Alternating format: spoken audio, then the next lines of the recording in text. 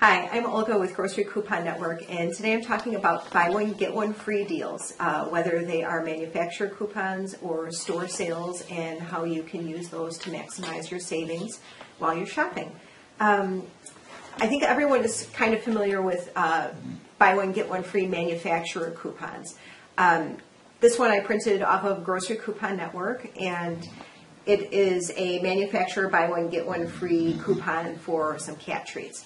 Uh, one thing to note on buy one, get one free manufacturer coupons is that they almost always have a maximum value listed.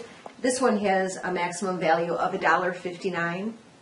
So if I bring this to the store and these cat treats are $1.79, I will have to pay the 20 cents for that get one free item because the maximum value of the coupon was 159.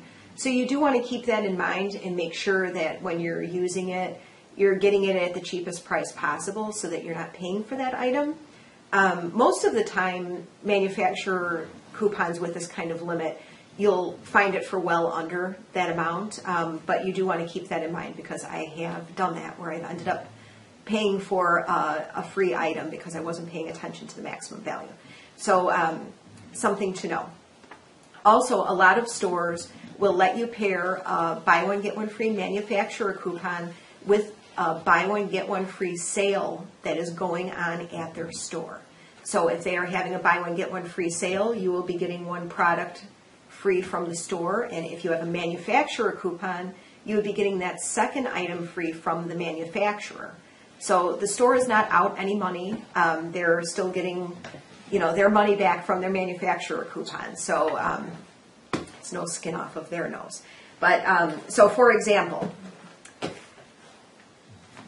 this was a promotion run at Walgreens, uh, buy one get one free on Kleenex. So from Walgreens, I am purchasing one.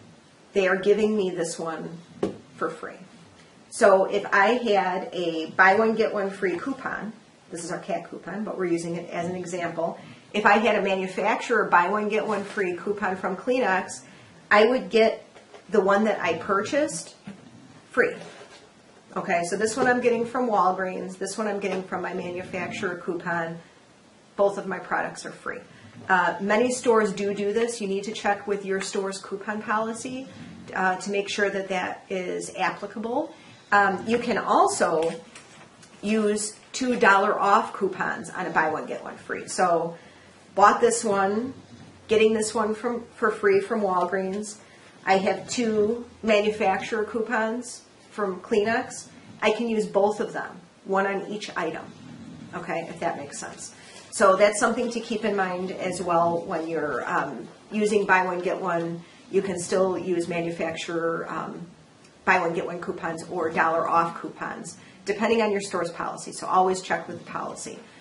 Um, I hope that this information helps you with using buy one, get one free coupons and with your buy one get one free sales at your stores, and um, you know get out there and start using those buy one get one coupons.